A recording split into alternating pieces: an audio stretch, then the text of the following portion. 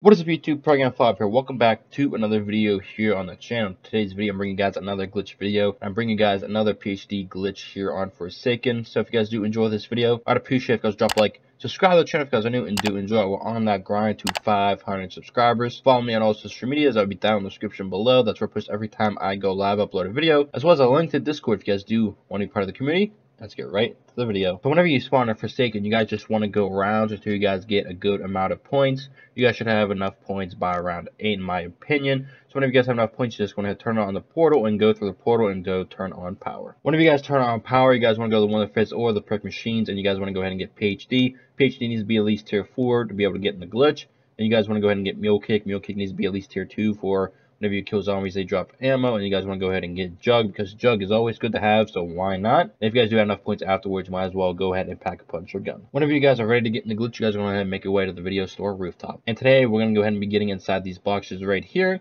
So what you guys want to do is just go ahead and get a bit of a running start. You guys want to run you guys want to jump and while in mid air hold the slide button before you do hit the ground, pause the game, and then unpause the game. I'm going to show you again here, but in full speed. You guys want to go ahead and run. You guys want to jump and while in midair hold the slide button and before you do hit the ground pause the game and then unpause the game if you guys did it correctly you guys just breach right through into the box now what you want to do is just go inside the box and you just want to crouch now the zombies will pile up right in front of you and you guys are good to go ahead and get your headshots or your camos or anything you guys need now when you're in this glitch you guys can pick up power-ups you guys see i just got a max ammo power up needs to be as close to the box as possible and you guys see I'm just going to go ahead and pick up the max ammo. So when you guys get power-ups, you got to try to get them as close as you can to the box so you guys can pick them up. If they're far away, you guys won't be able to get them. Now you guys need to be careful of the plague hounds because they do explode near you. The gas can hit you and damage you. So you're just trying to kill them before they do get too close. Now when the abomination comes, a little trick here that I think you can do. As you see, he spawns in and I'm at the back of the box. He just stands there with the rest of the zombies not targeting me, not doing any of the attacks or anything. But when I go to the front of the box, you guys hear, then he starts to target me and attack me